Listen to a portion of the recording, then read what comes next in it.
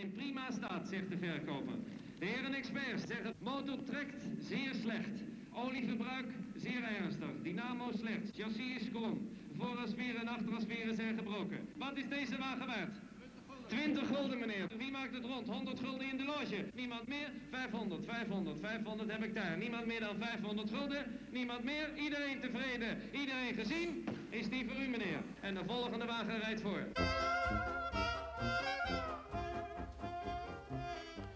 Op de autoveiling in Amsterdam worden tweedehands auto's als warme broodjes verkocht.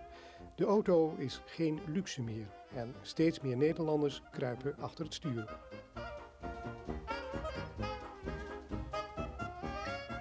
En ook de jeugd kan natuurlijk niet achterblijven. Dit is de verzamelplaats in Renen van de racemonsters die zullen uitkomen in de eerste echte zeepkistraces van Nederland.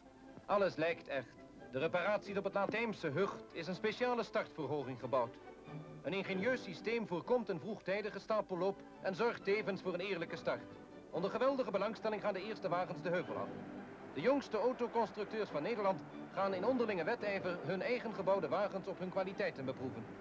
En de meesten blijken die vuurproef glansrijk te doorstaan. Zo tegen het einde van de 300 meter lange baan liggen de wagens op topsnelheid. Ongeveer 35 km per uur.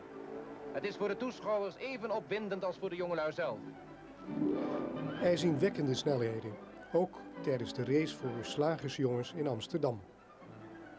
In hoog tempo van bijna 40 km per uur jakkeren de jongens naar hun klanten. Pardon, naar het eindpunt.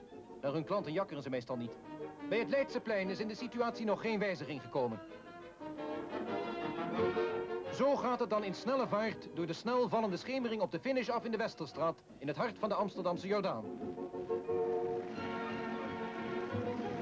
In de sprint is de Hagenaar Rinus van Muiden de snelste.